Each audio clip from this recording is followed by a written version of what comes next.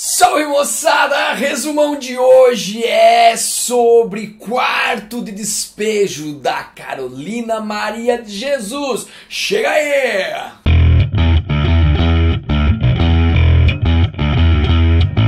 Legal, vamos à ficha técnica do livro? Então, é, o gênero, ele é um diário, o subtítulo inclusive é Diário de uma Favelada, portanto uma autobiografia, certo? Outra coisa importante é que né, nesse tipo de obra, a, o narrador é o autor e personagem da obra, beleza? Então o narrador é a própria Carolina Maria de Jesus. Qual é o espaço? O espaço é uma favela em São Paulo, a favela do Canindé, que hoje inclusive não existe mais. O tempo, o tempo é de 55 até 1960, tá? E o estilo de época nós podemos chamar de literatura contemporânea, porque ela não se enquadra, ela não se encaixa em nenhuma escola propriamente dita, tá certo? Bom, vamos aos dados uh, biográficos da Carolina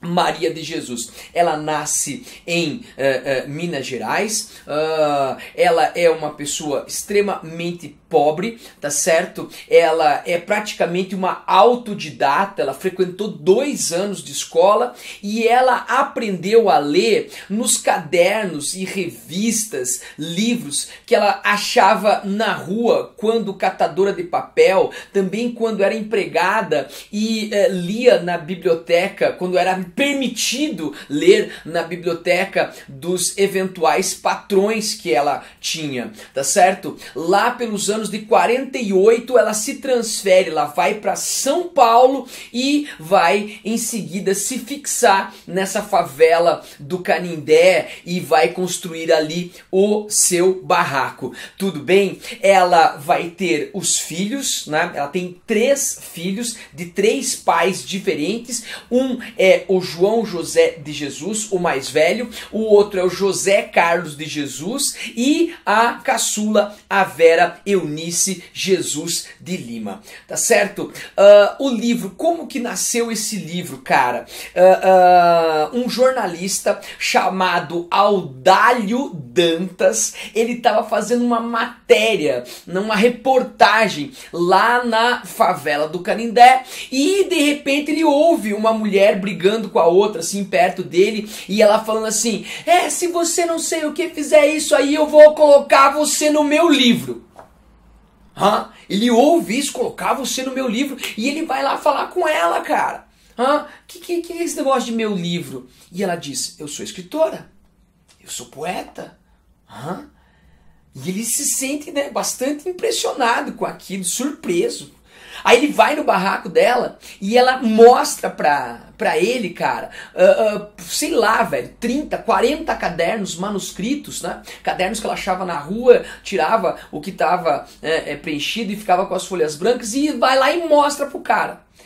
Esses escritos é que vão virar o livro chamado Quarto de Despejo Diário de uma Favelada, beleza? Ele vai ser publicado em 1960 e vai ser um best-seller, vai fazer muito sucesso. Ele vai ser traduzido para 13 línguas, é, é, é, ele vai é, depois ser referência para estudos sociológicos, é, estudos culturais. É, entretanto, esse, esse sucesso da Carolina Maria de Jesus foi muito passageiro, foi muito efêmero. Logo em seguida, ela vai gravar um LP, tem até no YouTube aqui também dá para você ouvir. Digita aí, ó, Carolina Maria de Jesus e o LP que ela gravou, né, com algumas músicas que ela também compôs punha, tá certo? E uh, uh, ela não consegue ter o mesmo sucesso na sequência. Ela consegue ganhar algum dinheiro, né? ela compra uma casa de alvenaria, ela sai da favela,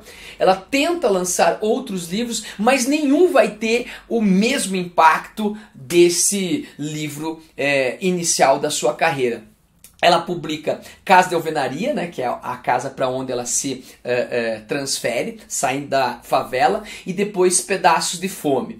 Ela vai uh, falecer em 1977, com 62 anos de idade, e, e, e o dado autobiográfico interessante é que a sua filha, a Vera Eunice, vai se tornar professora tá? É, ela não conseguiu né, estudar e tudo mais, mas ela deu a educação para pelo menos um dos seus filhos se tornar um, um, uma pessoa formada em professora. Legal, né? Bom, vamos às características desse livro, que é um dos mais pedidos em vestibulares do país inteiro aí, tá? Há um resgate da literatura dessa mulher fortíssima e dessa escritora tão singular dentro da nossa literatura brasileira. Vamos lá. Então, é, essa obra é bastante singular, por quê? Porque é a visão de dentro. Né? Você tem alguns outros autores que tematizaram a pobreza. Por exemplo, o a Luiz de Azevedo com o Curtiço, que tem até um vídeo aqui que eu gravei recentemente. O próprio Castro Alves, que falava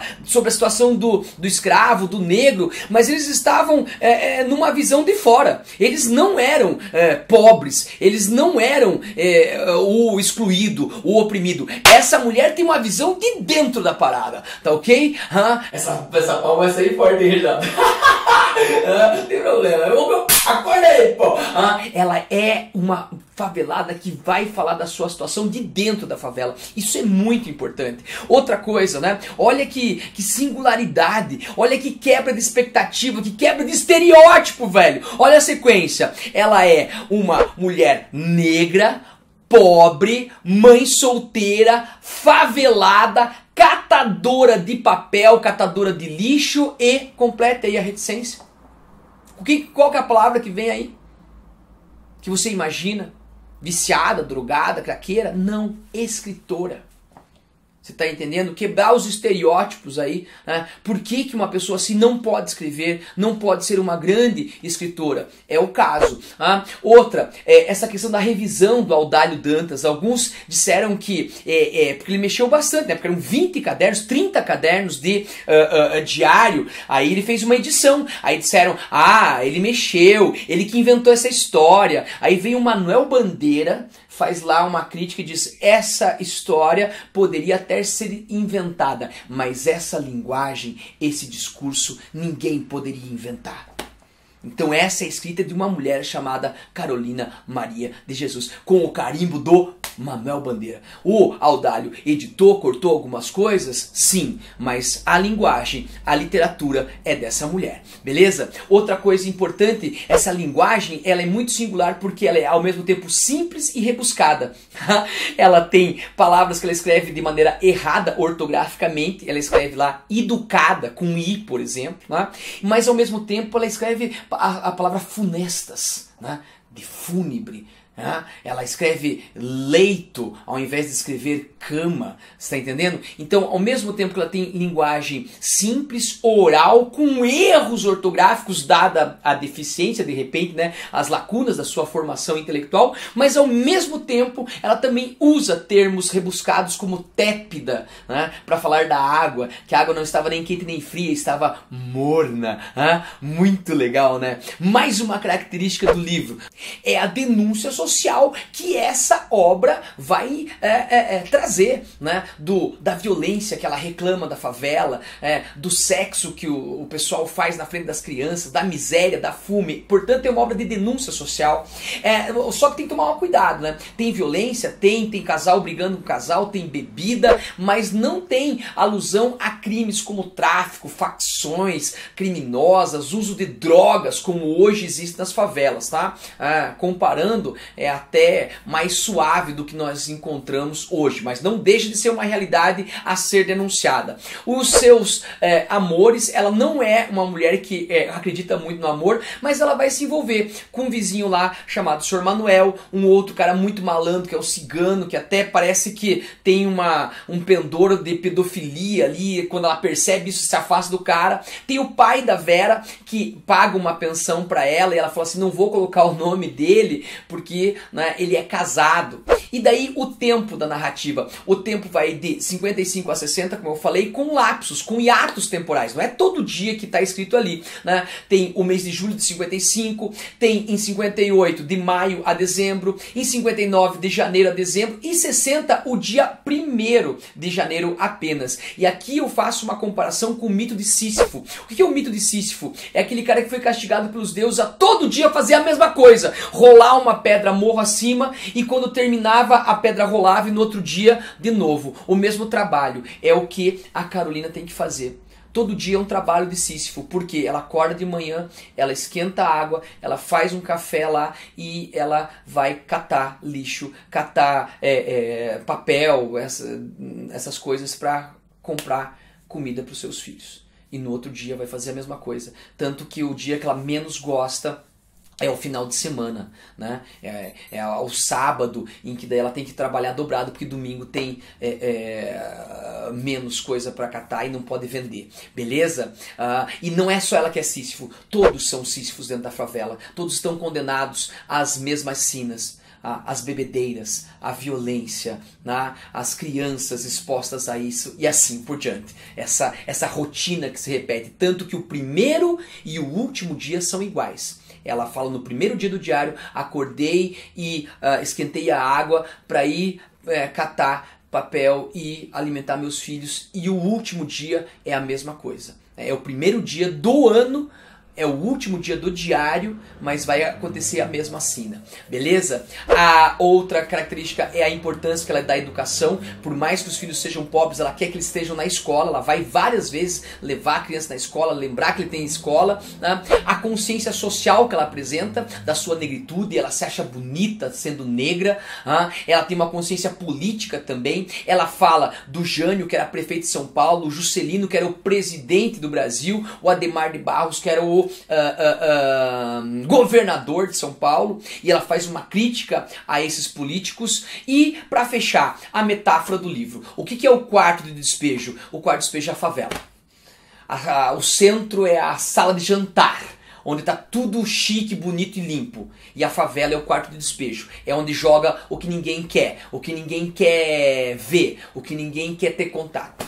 Esses são os favelados. Para finalizar, a última característica, a questão da metalinguagem. Ela fala que está escrevendo um livro e esse livro é a forma dela resistir, dela continuar lutando pela sua sobrevivência e a sobrevivência dos seus filhos. Essa é Carolina Maria de Jesus, uma das mais importantes e singulares escritoras da nossa literatura e esse é o seu quarto de despejo diário de uma favelada. Espero que você tenha gostado do vídeo, curta e compartilha, vem com a gente aí e até o próximo. Falou, galera!